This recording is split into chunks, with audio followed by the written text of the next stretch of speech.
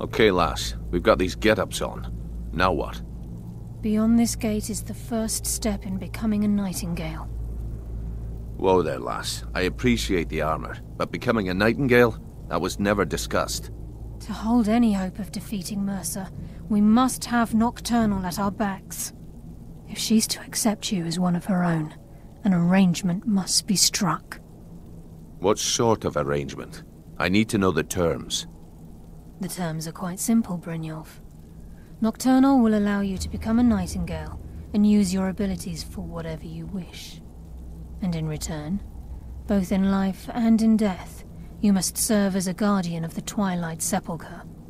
Aye, there's always a catch. But at this point, I suppose there isn't much to lose. If it means the end of Mercer Frey, you can count me in. What about you? Are you ready to transact the oath with Nocturnal? Good. After I open the gate, please stand on the western circle.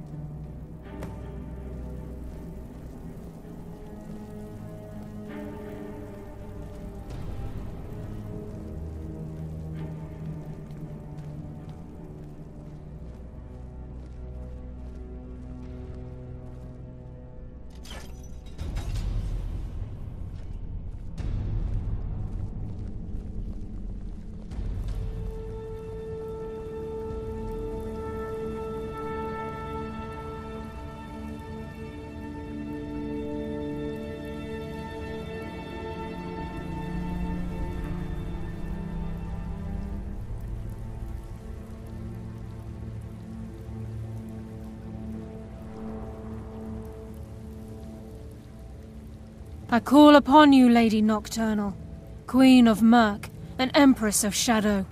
Hear my voice.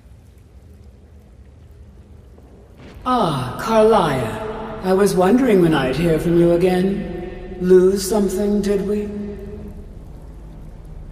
My lady, I've come before you to throw myself upon your mercy and to accept responsibility for my failure. You're already mine, Karliah. Your terms were struck long ago. What could you possibly offer me now? I have two others that wish to transact the oath. To serve you both in life and in death. You surprise me, Karliah. This offer is definitely weighted in my favor. My appetite for Mercer's demise exceeds my craving for wealth, Your Grace. Revenge. How interesting. Very well. The conditions are acceptable. You may proceed. Lady Nocturnal, we accept your terms. We dedicate ourselves to you as both your Avengers and your Sentinels. We will honor our agreement in this life and the next until your conditions have been met. Very well. I name your initiates Nightingale, and I restore your status to the same, Karliah. And in the future, I'd suggest you refrain from disappointing me again.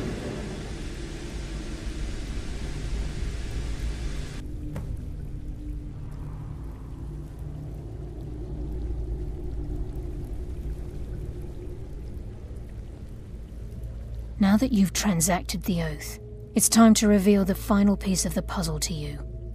Mercer's true crime. Mercer was able to unlock the Guild's vault without two keys because of what he stole from the Twilight Sepulchre. The Skeleton Key.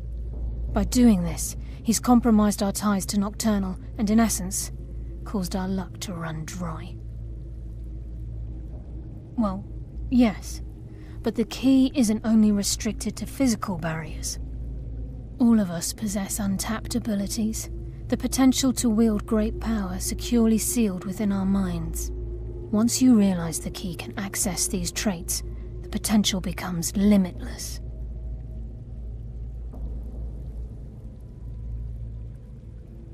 I'm afraid that's impossible.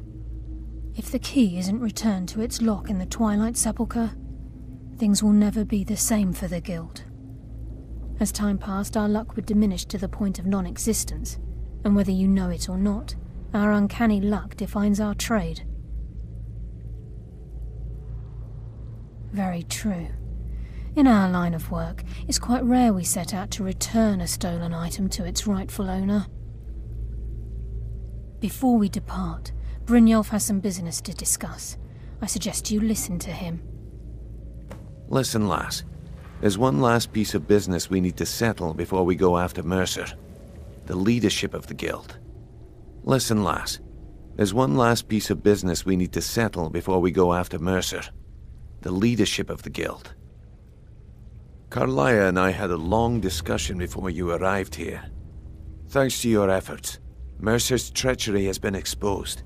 After we deal with him, all that remains is restoring the Guild to its full strength. As a result, we both feel that you have the potential of replacing Mercer as leader of the Thieves Guild. I've been at this game a long time, my friend. A long time. I've stolen trinkets from nobles and framed priests for murder. I'm good at what I do, maybe even one of the best but it's all I know.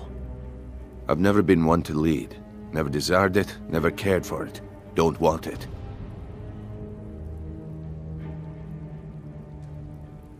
Look, everyone in the guild admires what you've done. Maybe they won't come out and simply tell you, but I promise you it's true. And now they know Mercer never genuinely cared about the guild. He lacked the loyalty you obviously possess. I can't think of anyone better.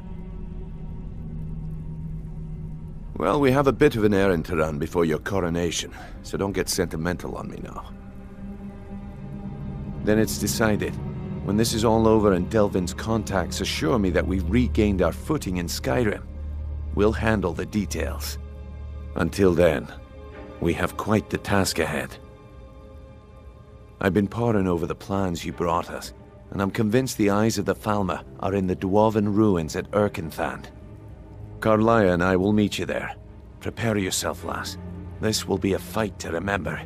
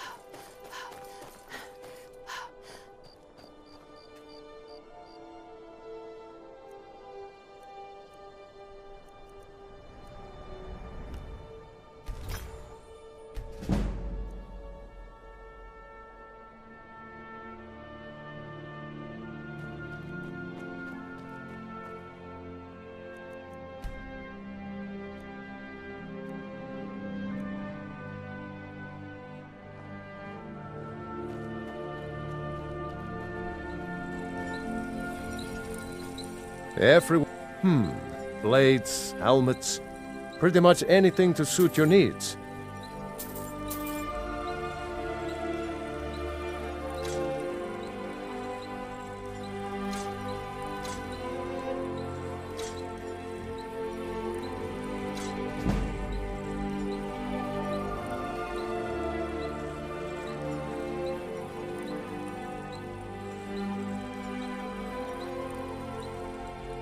Whether it's armor you need or a new blade, come see me.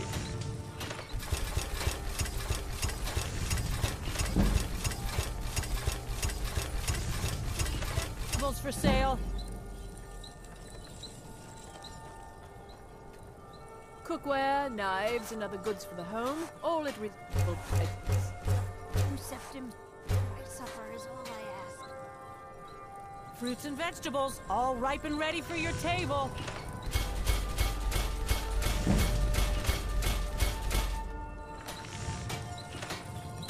Assorted wares and tools you just Need some metal hammered? Come and see for Hmm. Blades, helmets, pretty much anything to suit your needs.